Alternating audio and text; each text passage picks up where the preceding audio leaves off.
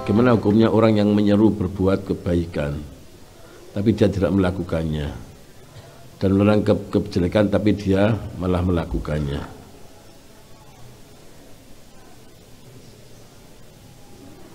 Jadi kalau ayatnya seperti ini.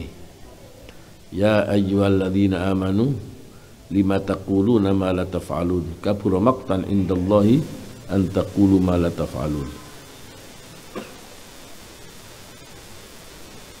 Wahai orang beriman, mengapa kamu melakukan hal-hal yang kamu tidak melakukan? Dosa besar kalau kamu mengatakan tapi kamu tidak melakukan.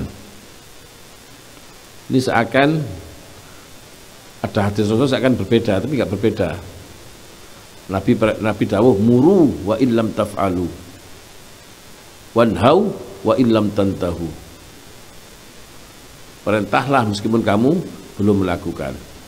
Dan cegahlah meskipun kamu belum tercegah dari itu. Ya, titik temunya di mana? Gak mungkin bedo. Di ketika kita itu ingin melakukan sesuatu, kita belum melakukan.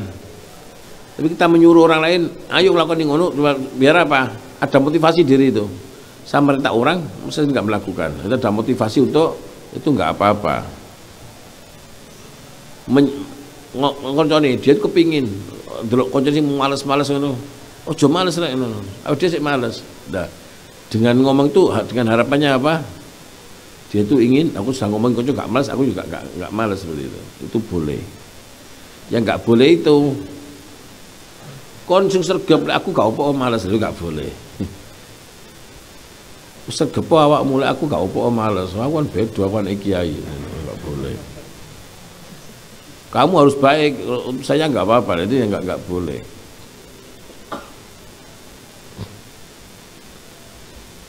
Ini kan? Wa inna ka idma ta'ti ma anta amiru. Bihi tulfi man iyyahu ta'muru atiya. Jadi kalau kamu melaksanakan apa yang keperintahkan pada orang lain maka kamu akan menemui orang yang keperintahkan melaksanakan itu Sungguhnya kalau kamu melaksanakan apa yang kamu perintahkan pada orang lain, kamu akan menemui orang itu akan melaksanakan perintah kamu. Dan ketika itu, la tanha an khuluqin wa ta'tiya arin alaika idza fa'alta azimu. Kamu jangan mencegah dari suatu akhlak yang enggak baik tetapi kamu melaksanakan itu. Kalau kamu melaksanakan itu, itu ada cacat yang sangat yang sangat besar.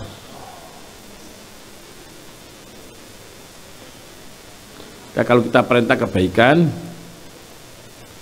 kita ada motivasi untuk melaksanakan kebaikan itu. Kita mencegah orang untuk berkebaikan, untuk motivasi doa untuk kita untuk tercegah dari hal itu.